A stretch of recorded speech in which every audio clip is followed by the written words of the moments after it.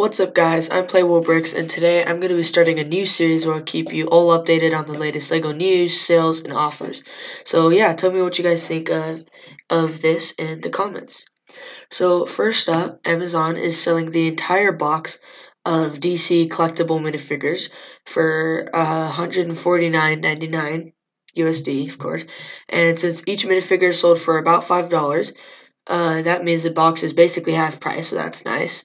Um, and there's a total of 16 individual minifigures, but there's more than 16 in the box because, you know, there's multiple minifigures in a box.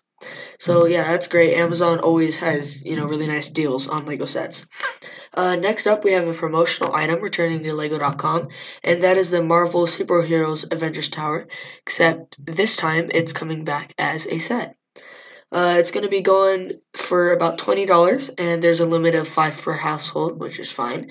Uh, it's a nice little set that is priced quite well, so I do recommend it. It comes with 211 pieces and a little Tony Stark there at the bottom. It's a great miniature little display piece.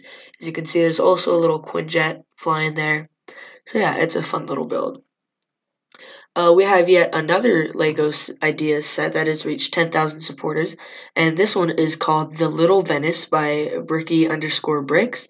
It has loads of details, all paying tribute to the beautiful city of Venice. It's even got a little Venice uh, nameplate there at the bottom.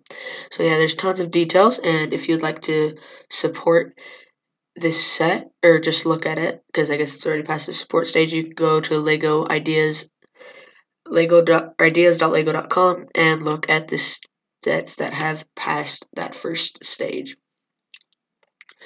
Uh, next up, LEGO is holding a VIP exclusive giveaway for the LEGO Store Leicester Square minifigure on the LEGO VIP Reward Center. It was first available in 2016 with the opening of the Leicester Square flagship store in the UK, and this version comes sealed, factory sealed, and is certified UKG 100% gold, which is very nice. Um, each entry into this giveaway costs 50 points for a maximum of 15 entries, which comes to 750 points in total if you want the max chance of winning this minifigure. This week, the sweepstakes, excuse me, will end on November 29th. More info can be found at the store page, which I will link in the description for you guys. And for a last bit of news, LEGO announced this morning on their Facebook page that the San Diego Comic Con Star Wars Nebulon B Frigate will now be available to buy starting on November 14th on Lego.com and Amazon while supplies last. So pretty much all their SDCC sets, you know, the Black Widow one, this one, all of them are going to be coming online and be sold since, you know, Comic Con was canceled for obvious reasons. Uh, this one comes with 459 pieces and will retail for $39.99, the same as the Black Widow set. And I think it was the same as the Wonder Woman set. I can't remember.